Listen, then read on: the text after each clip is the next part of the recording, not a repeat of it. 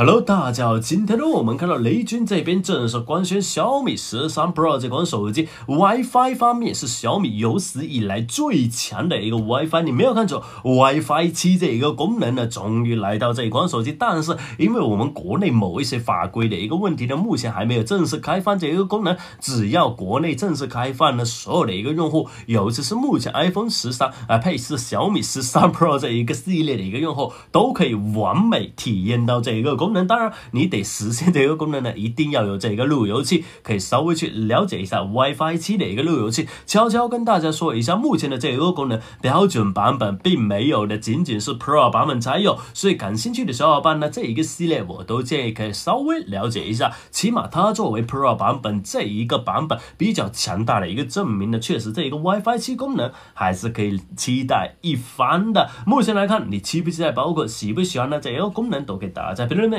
sesuka